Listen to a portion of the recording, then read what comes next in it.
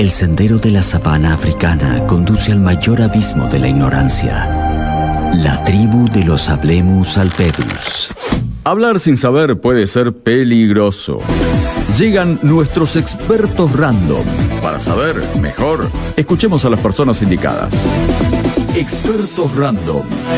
En segundos afuera. Que me considero casi un especialista por horas de vuelo en materia de alquiler, de contratos y demás por cuestiones de experiencias personales, pero dije, ¿por qué no llamar a un especialista? Está con nosotros, fuertes aplausos. Vamos a hablar de ley de alquileres. Es Mariana Ortega, ella martillera y corredora pública inmobiliaria. 48 años su, estu- eh, su estudio inmobiliario de Mariana Ortega se encuentra en calle 56 3125. Consultas, ahora no, por favor, que está al aire en la radio, pero lo pueden hacer al 15 57 96 22. ¿Cómo andas, Mariana? ¿Cómo andan? Buen día. ¿Todo tranqui? Bien, todo tranqui. Hoy eh, la vamos a recibir en el alter ego de eh, gestora inmobiliaria, no de cantante. No. No, en No, este no. caso lo vamos a dejar para otro La día. música eso. la dejamos para otro Ahí momento. está. Bu- ¿Cuánta mu- ¿Cuánto folclore? Mirá qué, qué bueno hablar Sí. de ley de alquileres con el folclore en el medio. Sí, estaría buenísimo. Poneme una chacarera de fondo. Claro. Un rally eh, Barrio Nuevo. Bueno, a ver, eh, agradecerte primero por, por venirte hasta el estudio para charlar un rato y, y poder evacuar un montón de dudas que hoy están surgiendo. Me imagino que debes tener el teléfono explotado respecto a las nuevas modalidades, ¿no? Sí, el tema es que se produce mucha confusión porque con esto de que hay media sanción de ley, la gente dice, pero ¿cómo es? ¿Hay una ley ya nueva funcionando? ¿Qué fue lo que se modificó? ¿Se modificó algo? No, Sí. no se modificó nada. ¿Qué, qué- o sea, tengo que hacer un contra- contrato nuevo. ¿Qué parámetros tengo en cuenta? Bueno, la gente se confunde un montón. Incluso me ha pasado, hace poquito una clienta me dice, che, yo quiero hacer un contrato de alquiler. ¿Lo puedo hacer ad referéndum de la nueva ley que se va a sancionar? No. La No. verdad que... O sea, queremos inventar nuevas leyes y nuevas formas no, de. claro, de legislar, ese es claro. el tema. Por eso es buenísimo poder charlarlo, como bien decías, fuera del aire, en un lenguaje coloquial, en el Claro. lenguaje de todos los días, ¿viste? Sin demasiada tec- tecnicismo ni nada, como para que la gente más o menos tenga un panorama y un parámetro de qué es lo que pasa hoy, qué es lo que está verdaderamente este, implementado en lo que es la legalidad. Me voy a meter en un preguntero en un ratito, te voy a ayudar a, a delinear un poco eh, esta columna. Eh, a, a través de algunas preguntas, te digo que hasta son de, de mote o, o de, de dirección personal, muchas que hemos recibido a través del 15410969. Primero, eh, te quiero recibir y que me, me hagas un paneo de cómo está hoy la cuestión de alquileres en la ciudad de Tenecochea. Sé que hay una crisis habitacional terrible, que las cuestiones económicas pueden pegar de varias formas, en, en, digamos, en, en varios rubros o aspectos, que en el caso de lo que tiene que ver con, con lo edilicio o, o si se quiere con, con el alquiler, muchas personas han decidido no alquilar por cuestiones económicas, porque no les conviene, llegamos al no me conviene, y han decidido poner propiedades a la venta. Eso hace que la oferta de alquiler se disminuya y se encarezcan los alquileres que sí están prestos para hacerlo, ¿no? Digamos, ¿estoy- ¿estoy leyendo bien la actualidad? Sí, es exacto así. Es más, este, yo creo que el principal problema que hay es que se ha trazado una línea de, de una división tipo grieta Sí. entre el propietario y el inquilino, cosa que no debería ocurrir. Pa- partamos de esa base. ¿Por qué? Porque en realidad acá hay una relación contractual y por ende se genera un contrato que va a tener una vigencia determinada para algo que les tiene que servir a los dos. ¿Sí? Pero Vos hay- una contienda de que alguien se está haciendo daño con el otro. Exacto. El inquilino me quiere macanear. No, y el inquilino me está queriendo también. jorobar, el propietario me está queriendo sacar tajada y en Sí. realidad, eh, como en toda relación comercial, Sí. tiene que existir un vínculo donde las cosas sean lo más equitativas posibles para las dos partes. O sea, ni que sea demas- demasiado beneficioso para un lado ni para el otro. Para Bien. que justamente exista esta posibilidad de que haya una oferta en relación a la demanda.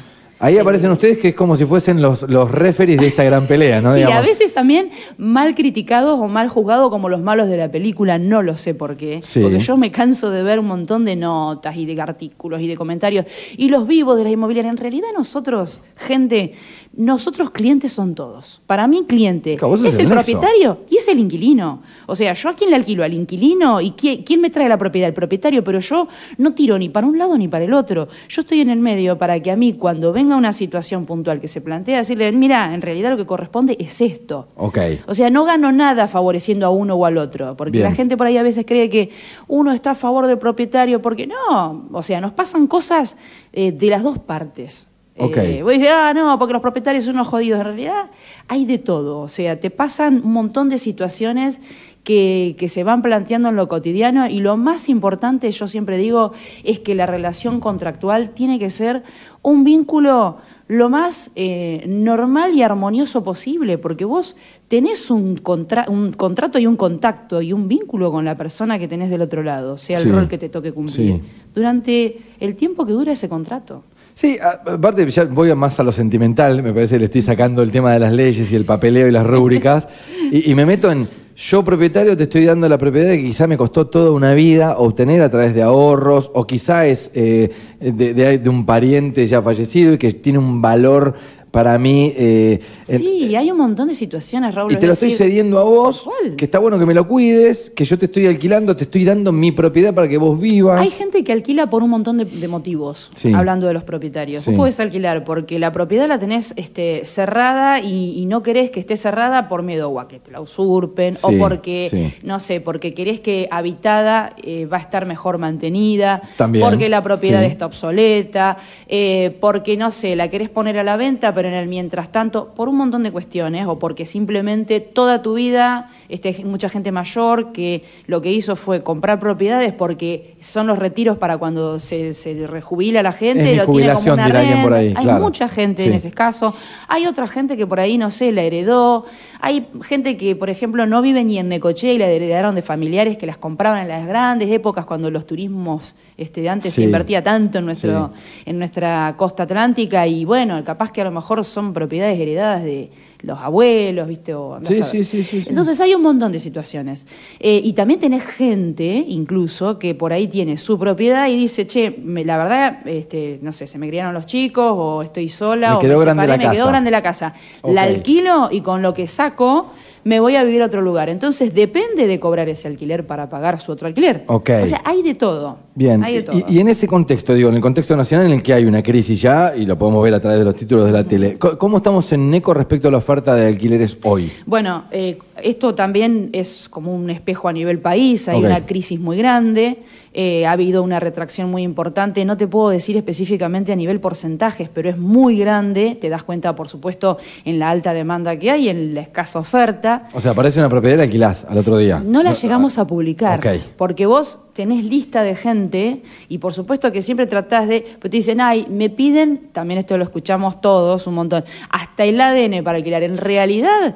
Eh, ponete del lado del propietario y también me pongo en el lado del inquilino. Pero en el lado del propietario, vos tenés para elegir inquilinos. Entonces siempre vas a tratar de elegir el que sabes que te va a cumplir, que te va a cuidar la casa, el que tiene más respaldo, que esto y que el otro.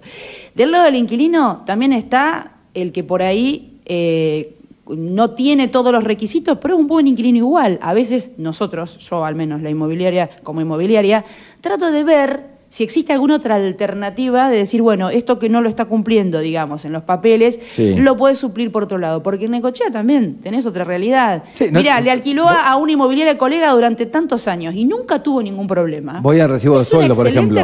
Claro. no, tengo, no tengo recibo de sueldo. Claro. Bueno, ¿cómo, cómo lo suplantamos? O cómo, claro. por lo general garantes incluso se piden gente conocida con recibos de sueldo, o sea, le buscamos la vuelta. Pero lo más importante que yo le digo a todos y sobre todo a los propietarios, es, lo más importante es que vos veas que la persona, a veces, no importa cuánto respaldo económico tenga, que por supuesto que es importante, pero también lo más importante es que sea buena gente. O sea, vos te quedas con buena gente, porque lo que yo digo es, si vos lográs un buen vínculo en un contrato, y es lo mejor que te puede pasar. Y estamos en una ciudad en buena que se puede gente me refiero a alguien, claro, alguien que te va a cuidar la casa, alguien que va a esmerarse por cumplir, por, por venir en término, por, es decir, sin, sin ningún tipo de abusos de ninguno de los dos lados, ni, del, ni del propietario ni del inquilino. Estás escuchando a Mariana Ortega, estamos hablando de ley de alquileres, lo pusimos como título, pero vamos a hablar un poco de todo, del mercado de alquiler también y de venta. Me voy a meter y me voy a poner como inquilino. Aparezco en tu estudio, Marian, necesito alquilar una propiedad, eh, me conseguís una propiedad de las condiciones o las cualidades que yo te pedí, eh, me avisas, vamos a firmar el contrato. Sí. Raúl Benite, el viernes que está todo para hacerlo, dale, buenísimo. ¿Bajo qué ley hoy se firma un contrato y bajo qué condiciones? ¿Qué papeles yo voy a tener que presentar como inquilino y qué condiciones va a tener ese contrato. ¿Es de dos, es de tres años? ¿Cada cuánto se actualiza? ¿Cuáles son los parámetros? Perfecto. Vayamos ahí. Sí, normalmente los inquilinos lo que se les pide habitualmente es la justificación de ingresos y alguna, alguna garantía. La garantía se trata de un, un fiador, básicamente. Es una tercera persona que se compromete para que ante una eventualidad, por cualquier situación, por ejemplo, de incumplimiento, Sí. respalda digamos, a, a tu figura, a tu persona. Siempre hablando que vos sos el inquilino, ¿no? ¿Y eso se hace a través de una propiedad de otra persona o no? No necesariamente, tiene que ser un inmueble, puede salir de, de- de respaldo, eh, por ahí con, con una, en muchos casos se piden este, recibos de haberes. Ok. Este, básicamente, incluso ha pasado a veces de fiadores que, que son personas que son hasta eh, los mismos jefes, patrones de, de los inquilinos. Que salen como garante de los Sí, inquilinos. te dice, mirá, es, es empleado mío, yo, y es una persona conocida, y te dice, yo les hago de... Bueno, vayamos de al peor escenario. Como garantía personal, digamos. Vayamos al peor escenario. Falla el pago del alquiler. Sí. ¿Cuándo se ejecuta esa cláusula de garante? No, en realidad siempre vos tenés plazos de, de intimación al inquilino y luego de esa intimación también recurrís al garante. De todas maneras, todo eso, digamos, hay como, ¿cómo te puedo explicar? Como situaciones que vos vas evolucionando y, bueno, dado un caso extremo ante un incumplimiento durante varios periodos consecutivos, Claro, no bueno, ya ahí no, no, obviamente que va a una instancia judicial, pero siempre en el medio está la posibilidad de tratar de este, regularizarse. Eh, no es que te van a, a iniciar un desalojo este, de manera inmediata. Garante, bueno, ¿algún papel, alguna comprobación de lo que Siempre se pide, sí, exactamente, justificación de ingresos, o si hay personas que están inscriptas porque son comerciantes, este, las constancias de inscripciones en, debidamente como corresponden, esas Hoy, hoy la ley que dice, tenemos un mes de comisión para la persona que... en- El honorario nexo. profesional, que Sí. nosotros los martilleros, que gente consulten a un martillero profesional. Ok, ok. Pero el Bien. honorario profesional eh, te establece, nosotros tenemos una ley, Sí. la ley provincial la 10.973, si alguien la quiere buscar, están invitados. Y- y la chequean. Esa ley nos regula absolutamente todo. Entre todo lo que nos regula a nosotros los profesionales, Sí. está el tema de los honorarios. En los honorarios profesionales, en contratos de locación, podemos percibir hasta un 4% sobre el valor total del contrato. Ok. No siempre tiene que ser un mes de alquiler. No, normalmente se, Se- hace por se- ahí el equivalente porque ronda, aguanta. Ahora que son tres, o sea, ahora desde que son tres años nos queda un poco cortos. Pero tranquilamente el martillero te puede decir eh, un dos a es a cargo de cada parte, salvo convenio entre las partes. Es decir, paga el, el propietario paga el inquilino, ¿sí? El honorario. A veces, la mayoría de las veces, ocurre que dice, bueno, mi condición como propietario es que el inquilino corre con el gasto. Sí. Pero eso se puede, o sea, se, con- Se es puede parte del convenio. Atentis, inquilinos que nos están dando data. Y lo que pasa es que ahí tenés, volvemos a lo mismo, eh, tenés lo contraproducente de que al haber tanta demanda, ¿qué te le vas a poner? Ah, yo no te pago. Bueno, correte que sigo. otro, claro. Exacto. Pero digo, las condiciones son muy Ese parecidas a la de una venta, en la cual también se hacen cargo ambos. Sí, también, lo mismo, y se negocia. En una venta en realidad es un 3% a cargo de cada parte, el, por- el porcentaje es otro. Ok. Pero bueno, en el caso de locaciones es esto. Todo lo que estamos hablando, Sí. debo decir, estamos hablando de locaciones urbanas. Porque las locaciones comerciales o las locaciones que son por plazos este, que son excepciones al plazo legal van por otra cuestión. Pero Ok. las locaciones, digamos, urbanas, que es a la que estamos eh, refiriéndonos en este caso, funciona de esta manera. La ley que se está aplicando es la que ya venía en vigencia este, a partir del 20 de, jul- de julio del 2020, que se sancionó en Que plena es la, pandemia. la loca ley de alquileres de las cuales eh, ha Exacto, recibido muchísimas críticas. 27551. Ok. Gente, esa es la ley que La aún repetimos, sigue vigente. 27551. ¿Qué dice esa ley? Parámetros. En líneas generales, Sí. lo más importante, el plazo mínimo legal son tres años. O sea, se siguen hoy, si vas a firmar un contrato de alquiler hoy, es por tres años. Tres años de No antigüedad. puede ser por menos. Tres años de antigüedad. Existe una forma en la cual el inquilino, estando en posesión de la cosa, puede hacer una renuncia, te estoy complicando, No, no, una bien. renuncia al plazo mínimo legal de manera es- es- espe- específica. Sí. Se hace en algunos muy pocos casos, hay que saber implementarlo, pero bueno, puede el, el inquilino de, buena, de, de propia voluntad renunciar al plazo mínimo legal. Es la única forma, pero lo legal son tres años de alquiler. Tres años. Todos los papeles que me habías eh, considerado al principio. Reajustes. ah, vamos ahí, que es Reajustes. muy importante. Los reajustes siguen siendo anuales. ¿sí? Ok. ¿Existe un trimestral, un semestral? Nada. No está amparado Desde por lo la ley. legalmente hablando, los reajustes son anuales según el famoso ICL, que es el índice que publica el Banco Central de la República Argentina. Sí. Eso se hace- está público, vos entrás y está ahí todo el porcentaje y el índice. Este último mes, ahora octubre, dio, porque ese, eso es variable también, algo de un 115, coma y algo por ciento. En este Interanual. Es en el anual, exacto. ¿Qué pasa? ¿Qué, porque parámetro- ¿Qué parámetros considera eh, este, Hace este un, informe? un promedio entre lo que es la inflación y, y el tema de la- del avance de arancelaria en los sueldos. Ok. Hace una, una cosa así. Este, pero es un índice puntual que lo, lo, plantea y lo propone. Ese es el key de la cuestión, creo yo que de los puntos más importantes de la ley, que más han traído conflictos. ¿Por qué? Porque, es decir, desde que se sanciona esta ley y que se pone en funcionamiento en julio del 2020, empieza a plantear una incertidumbre total para las dos partes. Es decir, lo, que siempre nosotros criticamos como corredores inmobiliarios. Vos firmás un contrato de alquiler y la gente dice, ¿yo cuánto voy a estar pagando el año que viene? Ni idea. Y el propietario te dice lo mismo, ¿y yo cuánto voy a estar cobrando el año que viene? Y además, no deja de ser que vos durante ese año, el propietario y el alquiler, Sí. el, el monto que vos estableciste como, como canon locativo va a quedar eh, totalmente congelado por un año. Ah, ok. Esto no es que yo cada mes me voy fijando y me, me acabo No. de googlear ICL de Banco Claro, Nación y claro. me, me pone hasta para poner fechas y además Sí. es muy fácil darse cuenta cu- Sí. cuál es el parámetro. Pero digo, esto no se va a actualizar. No, A mí no, se me va a actualizar No. el alquiler mes a mes según este No, parámetro. no. Si no es, yo firmo el contrato hoy, septiembre de 2023. En septiembre de 2024 me va a decir, bueno, usted, señor Raúl Peón, va a tener Tiene que pagar un reajuste de... 112%. Es- Exacto. Ahora está en 115, coma, ahí me fijo, pero. ¿me entendés? O sea, Sí. no es que vos vas a estar con reajustes, no. Esto desde hace, ya te digo, eh, desde el 2020 que es así. Entonces, ¿qué pasa? Eh, mucha, 115.33 dio, o sea, da el reajuste al primero de octubre. ¿Por qué aclaro el primero de octubre?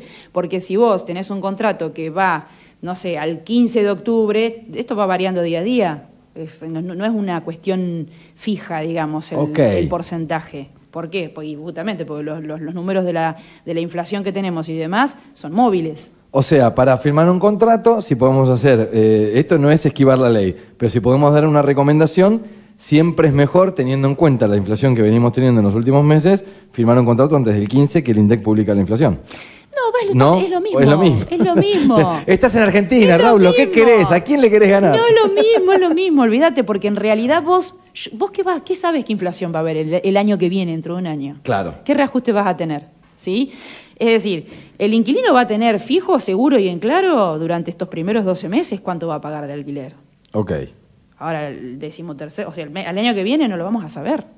Bien, esa es la ley vigente hoy. Tres años, el, y, eh, a ver, el, el parámetro es ICL. ICL. ICL, que lo pueden chequear. ponen- Índice de contrato de locación. Ahí está, eh, lo, lo googlean y les va a aparecer el Banco Sí. Nación y les va a aparecer también el, el porcentaje al cual ustedes deberían tener un aumento interanual.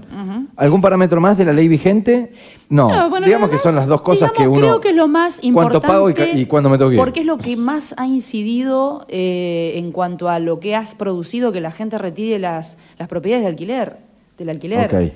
Porque el propietario eh, queda, a- digamos, como quien dice, agarrado, atado a ese contrato de alquiler en Sí. una situación también de donde no sabe ni cuánto va a cobrar, volvemos a lo mismo, dentro Sí. de un año, no puede hacer ningún reajuste en el medio. O sea, el problema que tenemos acá básicamente también es la alta inflación. Bien, o sea que si yo hoy firmo un contrato y, y no llamo un martillero público en este caso sí. y lo hago con una actualización semestral o trimestral, es ilegal. Es ilegal. O sea, si yo estoy de acuerdo, lo puedo firmar y hago mi acuerdo con... Vos lo firmás, pero en realidad vos propietario haces eso Sí. y bueno, después si el inquilino no te lo cumple, no le podés reclamar. Y el inquilino lo mismo. eso. Y el inquilino no te va, no te va a decir nada, porque en realidad mm, No, pero bueno, por eso, pero digo, no sé, eh, quizá... Es decir, que es como- Si después el, el propietario eso me dice sería- al año me tengo que ir, yo no tengo manera de reclamar. No, no, ahí estamos mezclando dos cosas distintas. A ver, dale. Cuando vos, el, propiet- el, el el único, en una relación contractual locativa, Sí, sí. eh, de vivienda, bueno, de, de- de comercial también, ¿no? Pero de vivienda, sobre todo, eh, la facultad de rescindir un contrato es exclusiva del inquilino. Ok, Vos propietario no podés, salvo que mediare una realmente una justificación muy grave o algo viste muy muy excepcional, pero el único que tiene la facultad de rescindir el contrato de manera anticipada es el inquilino. Condiciones también de la ley, ¿eh? Sí. Seis meses de vigencia mínima de contrato, tenés que permanecer, Sí. sí, tenés que permanecer seis meses, y después, a partir de los seis meses, el inquilino puede rescindir el contrato. Y en ese caso se deja. Y ahí ¿cómo hay es el- penalidades, ahí tenés penalidades. penalidad? Si vos rescindís el contrato antes del año, después de los seis meses, Sí. mínimo que tenés de cumplimiento efectivo, y antes del año, abonás el importe correspondiente a un mes y medio de alquiler del que estás pagando, del valor que estás pagando. Pasado el año. Pasado el año, un mes. ok, bien. ¿eh? Así sería. Eh, vamos a la nueva ley. Hasta acá es lo que sucede en el día de hoy y grábense eso y pueden chequearlo a través de la ley 20 27551. de lo nuevo. Me imagino que te habrás metido en cuanta nota parecida de la nueva Sí, ley de alquileres, de lo que se quiere aprobar y lo que ya tiene media sanción. ¿Qué cambia? Básicamente, en realidad, eh, lo que se ha hablado, pasa que hay, digamos, muchas, este, a nivel en el ámbito, en el ámbito político, hay como muchas ideas contrapuestas. Lo Hay dos, tres proyectos, ¿no? A claro, exactamente. Lo que yo te puedo hablar, sí, eh, y no quiero tampoco profundizar mucho en el tema, porque lo que no quiero es que la gente se confunda justamente con lo que en realidad tiene media sanción, pero en realidad no es ley vigente. Esto es lo que cambiaría, lo aclaramos. Eh, Esto es lo que tiene media sanción, que como no está, tiene media sanción en diputados, Sí. pero no está sancionado en el Senado. Y en el Senado pueden sancionar lo mismo, Modificarlo. o modificarlo, sancionar Sí. otra cosa, plante- o sea, todo esto es agarrado muy con alfileres. O sea, lo que sí te puedo contar que se sancionó, básicamente es eh, eh, volver al periodo anterior, digamos, a esta ley, que en lugar de que la- el contrato de alquiler sea de tres años, sea de dos. Sí. Y lo que también plantean, básicamente, que acá incluso después te lo dejo este si querés la, Sí, la por media favor. sanción, eh, básicamente lo que está planteando es el tema de los reajustes, donde vas a tener como, como, digamos, periodos que se establecen de reajustes mínimos de cada cuatro meses, y hay variables de tres índices que se plantean. Ok. Eso sería como, me parece a mí, lo más, a grosso modo, lo más relevante para no ponernos muy técnicos. En Bueno. Pero como lo que más eh, se ha tenido presente y que creo que me parece que va a ser lo más relevante, lo que vuelvo a repetir. O sea, es una redundancia, ¿no? Pero repito, falta todavía que se trate. Creo que la semana que viene, por lo que vi, habría una reunión para darle tratamiento a este tema, pero yo particularmente lo veo muy verde todavía. Bueno, no es casual que te pregunte esto, ¿por qué? Porque ahora te voy a preguntar a vos, con Sí. la experiencia que tenés de Sí. años en la materia y demás.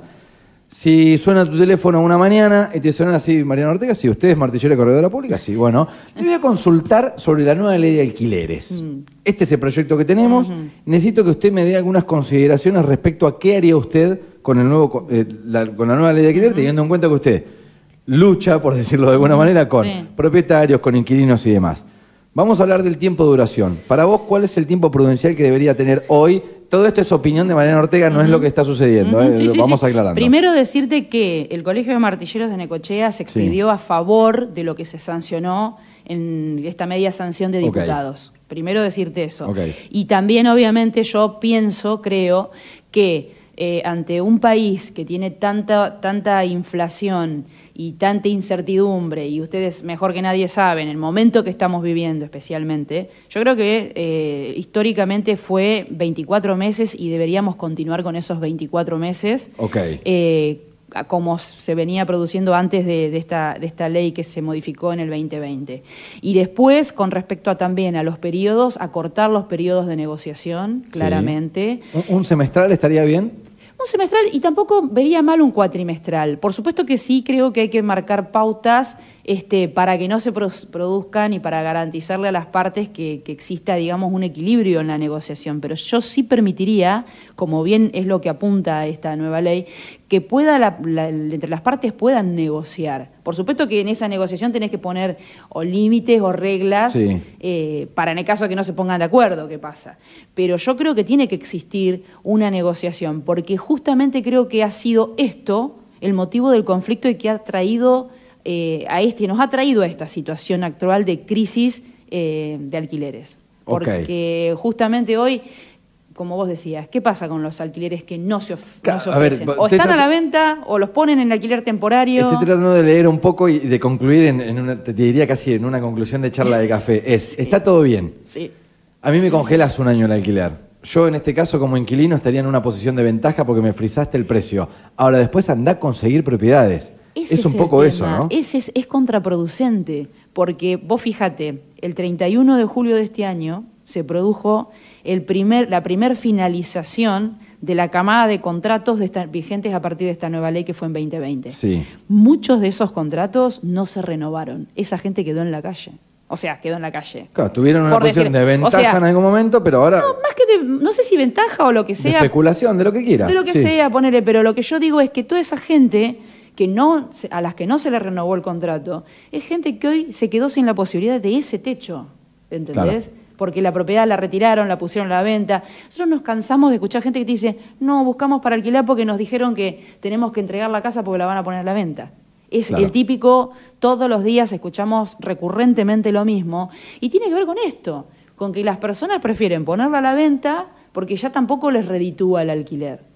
Claro, la mantención también de esa casa o de esa propiedad. Lo o que sea, claro. El, el clásico, anda a pintar y la después casa la vez que se otra, vayan, ¿no? visto, sentándome del lado del inquilino, a vos de repente te reajustan un 115,33% de golpe. Y vos no tuviste esa paritaria. Sí, y claro. Y, a vos tu bolsillo se te hace de goma. Entonces es un tema medio eh, complejo. Bien. Pero, Que, que va a meritar, creo yo, algún otro capítulo. Te, te agradecemos por, por, Por esta, favor. por esta presencia. Espero haber sido clara. No, por favor, a ver. Mariana Ortega, cualquier duda que tengan en el 15410969 la vamos a evacuar. Creo yo, y repito, amerita un segundo capítulo, ley de alquileres, compra-venta de una propiedad. En el caso de que tenga una propiedad para vender, consejos a la hora de abordar una, una negociación respecto a alguna propiedad que puede ser heredada o no. Viste que uno desconoce por ahí. Sí. Che, me quedó un departamento de la tía en Mar del Plata, lo quiero vender. ¿Qué hago? ¿Qué no hago?